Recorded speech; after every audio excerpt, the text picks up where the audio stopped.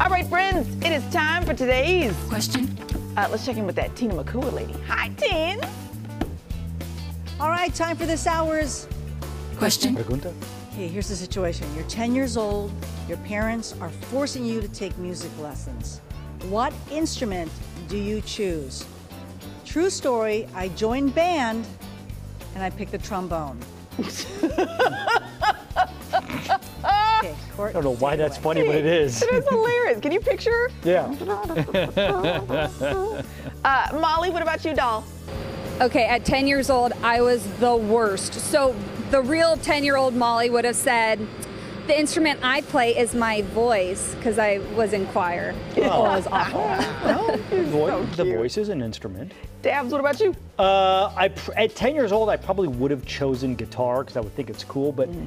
Piano is what I would love to learn how to play. Yeah. yeah. Code, what about you? Uh, my parents made me take piano lessons. Yeah? And then I found out that you had to practice outside of the lessons, and I was like, "Pfft, I wanna play those bongos that she had behind her, man. Those Right? are cool. Uh, piano would have been my Mm-hmm. choice also, but it was because I had several friends who knew how to play the piano.